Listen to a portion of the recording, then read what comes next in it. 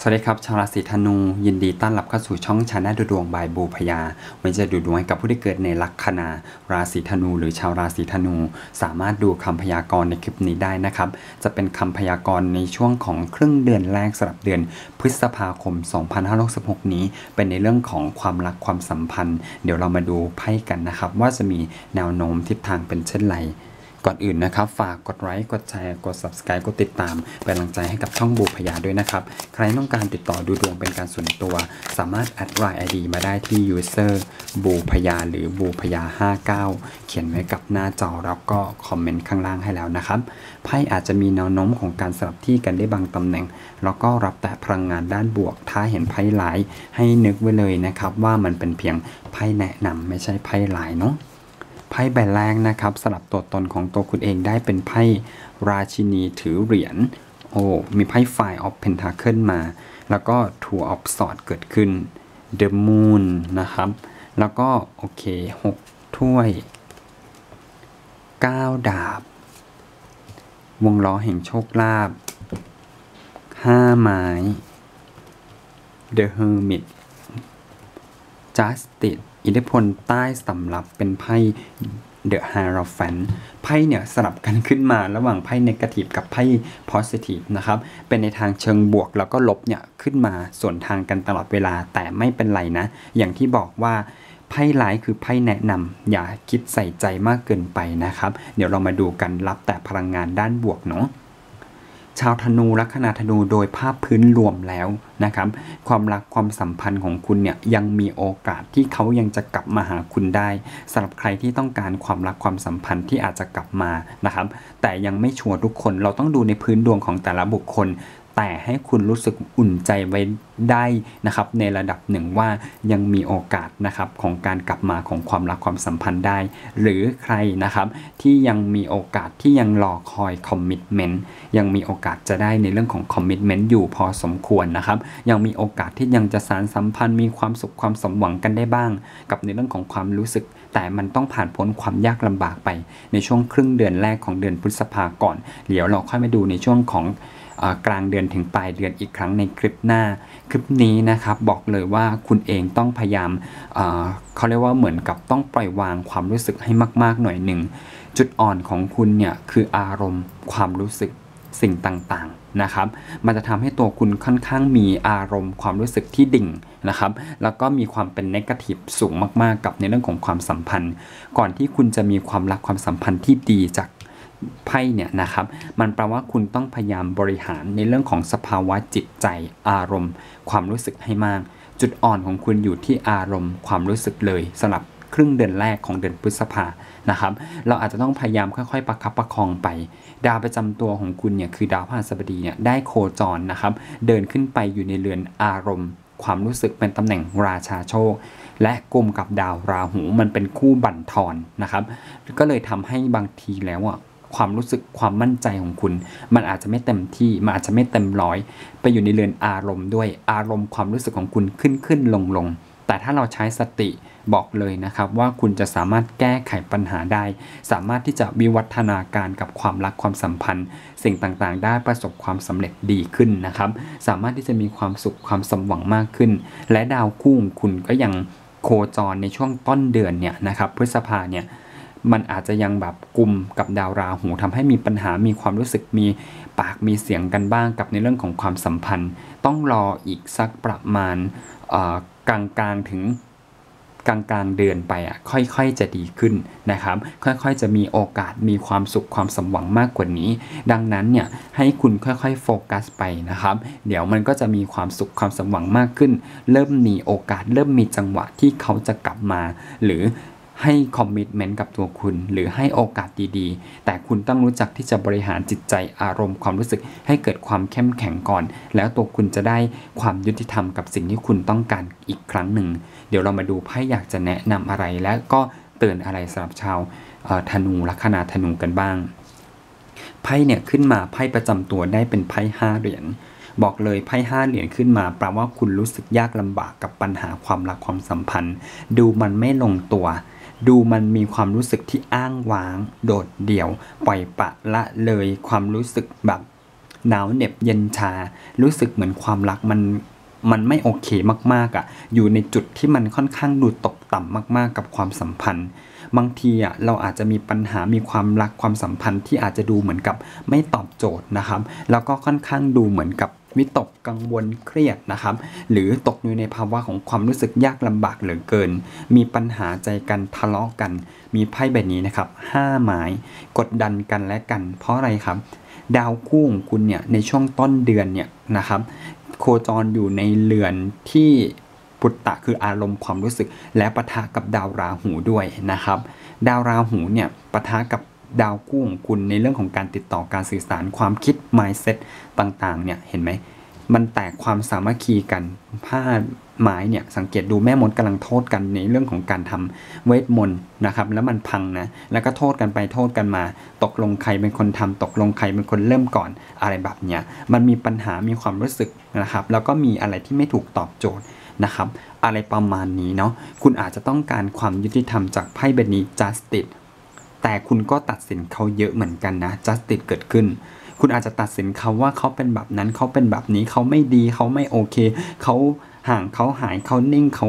อะไรประมาณนี้ไม่ตอบโจทย์ใด ๆ คุณอาจจะมีความรู้สึกจัสกับเขาแบบนี้เหมือนกัน เพราะไพ่ justice เกิดขึ้น ถ้าคุณต้องการทวงความยุติธรรม คุณทวงได้นะ ไม่ใช่ว่าผมพูดแบบนี้แล้วคุณทวงไม่ได้ แต่การที่เราจะจัสการที่เราจะตัดสินการที่เราจะทวงความยุติธรรม เราก็ต้องหันกลับมามองตัวเราเองก่อนบ้าง ว่าตัวเราเองเนี่ยเข้มแข็งพอแล้วหรือยังนะครับ เรามีเหตุมีผลมากพอหรือยังนะครับ เราทะเลาะกับเขาแบบเนี้ยนะห้าไม้เนี่ยมันไม่จบมันไม่สิ้น แต่ถ้าเราต้องการที่จะแก้ปัญหาด้วยต้นเหตุจริง ๆอะ่ะเราต้องมาเคลียร์กันนะครับ เราต้องมาเคลียร์กัน คุณอาจจะรู้สึกว่าความรักมันดูไม่ชัดเจนนะ มีไพ่ใบนี้คือ two of swords นี่คือปัญหาเลย ปัญหาคือ two of swords ปัญหาความรู้สึกว่าแบบ ส่งข้อความไปไม่ตอบ ส่งไลน์ไปไม่ตอบโทรไปไม่รับนะครับ แล้วเป้าหมายความสำเร็จของคุณก็ไม่ตรงเป้านะครับเขาบอกเขาจะให้คอมมิชเมนต์ก็ไม่ได้ เขาบอกว่าเขาจะแบบนั้นแบบนี้ก็รู้สึกเหมือนเขาแบบชิวๆเกินไป รู้สึกไม่ ไม่ได้แบบรู้สึกรู้สาอะไรกับตัวคุณ นิ่งเงียบห่างหายไป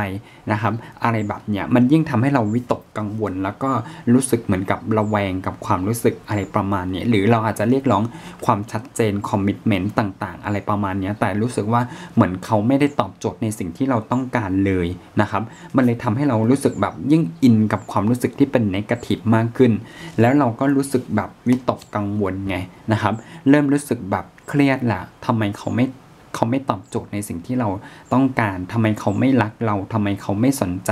ทำไมเขาไม่โอเคกับเรา ไหนบอกจะให้ commitment ไหนบอกจะให้ความรัก ไหนบอกจะอย่างนั้นอย่างนี้ แต่ทำไมดูแล้วมันมีแต่ความรู้สึกที่เราพยายามไปฝ่ายเดียว นะครับอะไรประมาณนี้เราก็รู้สึกท้อใจวิตกกังวลเครียดนอนไม่หลับนะครับ อะไรประมาณนี้แล้วก็เซนซิทีฟง่าย คิดแต่ว่าเขามีคนอื่นหรือเปล่าเขารักคนอื่นหรือเปล่าทำไมเขาไม่ใส่ใจทำไมเขาเปลี่ยนไปนะครับ เราก็ไปจัดไปจัดกับเขาทันทีเลยว่าแบบ คุณมีคนอื่นใช่ไหม คุณรักคนอื่นใช่ไหม คุณไม่รักกันแล้วใช่ไหมอะไรแบบเนี้ย ก็คือมีปัญหาหาเรื่องกันนั่นแหละเอาง่ายๆห้าไม้อันนี้ผมไม่ได้ว่าทุกคนนะครับไพ่เขาบอกแบบนี้ ให้คุณพยายามรวบรวมสติความคิดก่อนนะครับ แล้วค่อยๆมองการไกล เพราะคุณรู้สึกว่าอารมณ์ความรู้สึกมันโหยหาน่ะมันมีความรู้สึกขาดแคลนมาก ๆ เลย กับอารมณ์แล้วเราก็คอนโทรลตัวเองไม่ได้ด้วยนะครับ เรารู้แต่ว่าเราต้องพยายาม ตามเขานะครับ ถึงเขานะครับ หรือต้องการแบบให้เขามาให้คอมมิชเมนต์กับเราใด ๆ อะไรแบบเนี้ย เพราะความรู้สึกมันไม่ชัดเจนขึ้นมานะครับ อะไรประมาณเนี้ยเรากำลังมีความรู้สึกแบบนี้ แต่หลายคนอาจจะบอกว่า ไม่ได้ทำพฤติกรรมขนาดนี้ คือบอกแล้วว่าไพ่เขาบอกว่ามันมีแนวโน้มที่จะเป็นแบบนี้ มันจะคิดมากคิดน้อยมันแล้วแต่บุคคล บางคนเป็นคนเซนซิทีฟเขาก็จะคิดเยอะมากมากกว่าคุณเยอะเลยนะครับ นอนไม่หลับฟุ้งซ่านแบบโทรไลน์ตอบแชทอยู่อย่างนั้นแหละนะครับ เฝ้ารอส่องอยู่อย่างนั้นแหละแต่บางคนอาจจะมีความเข้มแข็งในพื้นดวงอยู่แล้วนะครับ เป็นคนที่แบบเขาเรียกว่าอะไรล่ะ มีความแบบภูมิคุ้มกันอยู่แล้วไงนะครับ แล้วก็ แบบเป็นคนที่เข้มแข็ง คุณก็อาจจะไม่ค่อยรู้สึกอะไรมากหรอก คุณก็อาจจะรู้สึกเสียใจก็จริง แต่คุณ move on ได้เร็วอะไรประมาณนี้ แต่ไพ่อยากจะบอกว่า คุณอาจจะรู้สึกขาดแคลนก็จริง แต่ถ้าเรารู้จักที่จะปรับนะครับ พัฒนาจิตใจนะครับ แล้วก็ยกระดับในเรื่องของอารมณ์ความรู้สึกในการที่เราจะต้องบริหารจิตใจของตัวคุณเอง มันมีไพ่สองใบขึ้นมาก็คือไพ่ The Hermit และ The Hierophant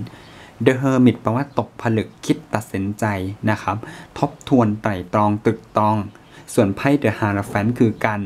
เรียนรู้การปรับการเข้าใจการพัฒนาในเรื่องของรูปแบบกับความรักความสัมพันธ์นะครับ เราต้องพยายามปรับและเข้าใจเรียนรู้กันนะว่าสาเหตุที่เขาไม่สนใจเราเพราะอะไร สิ่งที่เราทำผิดพลาดไปเพราะอะไร สิ่งที่เราก้าวเข้าไปในความสัมพันธ์ หรือล้ำเส้นกับความสัมพันธ์มากเกินไปหรือเปล่า อะไรแบบเนี้ยเราต้องพยายามมองอะไรในในหลาย ๆ ด้านนะ มันไม่มีหรอกว่าอยู่ดีๆ เขาจะไม่ดีเขาจะไม่โอเค นอกจากคุณจะไปรักคนที่เขาไม่ดีนะครับ หรือเขาไม่ได้รักเราตั้งแต่แรก อันนี้มันก็อีกเรื่องหนึ่งแต่การที่เกิดคนเรารักกันอยู่แล้วเนี่ยแต่เปลี่ยนไปจริง ๆ เนี่ย นั่นแปลว่าเราอาจจะมีบางสิ่งบางอย่างที่ทำแล้วผิดพลาดไปนะครับ แต่เราอะจัดกับเขาทุกอย่างเลย คือเราตัดสินกับเขาทุกอย่าง แล้วเขาอาจจะมีความรู้สึกว่า เธอล้ำเส้นเกินไป เธอพิพากษา เธอแบบนั้นแบบนี้เขาเกินไปเลยทำให้เขารู้สึกอึดอัด เขาเลยถอยออกจากความสัมพันธ์ทำให้เรามีความรู้สึกที่อ้างว้างโดดเดี่ยว ความไม่ชัดเจนใด ๆ เริ่มเข้ามา นะครับ หรือเขาอาจจะไม่ชัดเจนตั้งแต่แรกก็ได้ แต่ ไม่ได้แปลว่าเขาอาจจะไม่ชัวร์ก็ได้ เขาแค่รู้สึกลังเล หรือรู้สึกไม่มั่นใจ หรืออะไรก็แล้วแต่ แต่คุณก็ต้องพยายามมีสติกับการเรียกนะครับ การเรียกร้องการคุยการพัฒนากันก็ต้องเติมเต็มกันและกันไปในทิศทางที่มันเป็นในทางเดียวกันนะครับ แบบนั้นเป็นต้น มันก็ไม่แปลกนะ การที่เรากับเขาจับมือกันณณอดีต จนถึงปัจจุบัน เขาก็อาจจะมีโอกาสที่เขาอาจจะคิดหรือจะเปลี่ยนใจหรืออาจจะแบบเขาเรียกว่าอะไรนะ เหมือน ปล่อยจากคุณปล่อยมือคุณก็ได้อะมันก็มีโอกาสเป็นไปได้ แต่มันต้องไม่ใช่แบบหลับล่อๆอะอืมประมาณนั้นน่ะ แต่เราก็ต้องพยายามตะล่อมหรือประคับประคองไป ถ้าเรามีสติเราค่อยๆคิดค่อย ๆ ตัดสินใจเนี่ยนะครับ มองการไกลเป็นระยะยาวและหลักตัวเองให้มาก คุณจะพัฒนาจากสิ่งที่คุณขาดคือ 5 เหรียญแต่คุณจะกลายเป็นราชินี ถือเหรียญผู้เลอค่า ราชินีผือเหรียญผู้เลอค่าเนี่ยนะครับ คือคนที่มีเสน่ห์ดึงดูด มีความสุขความสมหวังในการที่เรามีคุณค่าในจิตใจ เราจะอยู่หรือเราจะไปอะไรเราไม่ได้มีความรู้สึกขนาดที่แบบเอาใจไปผูกติดกับเขานะครับ เรามีคุณค่าของเราเราก็ทำ แต่เราก็ต้องให้อิสระในการตัดสินใจของเขาด้วย โดยการที่ถ้าเกิดเขาอยากจะตัดสินใจ เราไม่ควรไปจัดกับเขา ไม่ควรไปตัดสินใด ๆ กับเขาจนเกินไป ถ้าเขาทำผิดเรามีโอกาสแนะนำได้ แต่ไม่ใช่ไปตัดสินว่าเขาเป็นแบบนั้นแบบนี้นะครับ ถึงเขาจะผิดแต่เขาก็ยังมีความเป็นของตัวเองเป็นชีวิตของเขา เราไม่มีสิทธิ์ไปก้าวล่วงก้าวล้ำชีวิตของเขาจนเกินไป พูดง่ายๆคือล้ำเส้นนะครับ เขาอาจจะมีความเป็นตัวของตัวเองนะครับเราก็ต้องยอมรับบางส่วนในสิ่งที่เขาเป็นบ้างนะค่อยๆเกาประคับประคองกันไป มีไพ่วงล้อแห่งโชคลาภแปลว่าเรายังสามารถค่อยๆ ปรับและเรียนรู้กันได้นะครับ ถ้าเรามีความรู้สึกที่นิ่งพอนะครับหนักแน่นมั่นคงพอ จริงใจจริงจังกับเขาพอ รักเขาจริงแล้วเขาเป็นคู่ของเราจริงนะ่ะยังไงเขาก็มีโอกาสที่ยังจะกลับมาหาคุณจากไพ่ใบนี้เลยนะครับ Six of Cups แต่ถ้าเกิดใครที่ไม่ได้กลับมานะครับ แล้วเราต้องมาร้องห่มร้องไห้มีปัญหา เราก็ต้องถอยห่างออกจากความสัมพันธ์กลับมาในที่เดิมก็คือ มีสติกับการอยู่กับตัวเองทบทวนแล้วก็รักตัวเองให้มากสา แล้วค่อยๆเฟดตัวออกมา ถ้าเขาไม่ใช่นะครับ แต่ถ้าเขาใช่ยังไงเขาก็มีโอกาสที่จะกลับมาหาคุณจากไพ่ซิกออฟคับเกิดขึ้น อาจจะมามอบคอมมิชเมนต์ให้กับตัวคุณ เพราะคุณอาจจะได้รับโอกาสสิ่งดีๆ อีกครั้งหนึ่งกับความสัมพันธ์ที่ลงตัวกันได้ทำให้ความรักความสัมพันธ์ไปแนวโน้มทิศทางที่ดี และมีความชื่นมื่นกันมากขึ้นนะครับประมาณนี้นะยังมีโอกาสที่คุณจะได้ในเรื่องของ commitment หรือเรื่องของความรักที่คุณต้องการโอกาสยังเข้าข้างคุณ ถ้าเรา เข้มแข็งแล้วก็รักตัวเองได้นะครับ โดยเฉพาะคนธาตุดินราศีพฤษภราศีกันย์ราศีมังกรนะครับอาจจะทำให้เขาประทับใจแล้วก็กลับมาอีกครั้งหนึ่งกับความสัมพันธ์ และก็ให้ commitment กับตัวคุณอีกครั้งหนึ่ง ก็ได้เช่นกัน ถ้าเรารักตัวเองมากพอ เราก็จะมีคุณค่าในจิตใจ และเขาก็จะมอบสิ่งดีๆ ให้กับตัวคุณมากขึ้นสำหรับใครที่ชอบอย่าลืมกดไลค์กดแชร์ กด subscribe กดติดตามเป็นกำลังใจกับช่องบูพยาด้วยนะครับ ขอบคุณครับ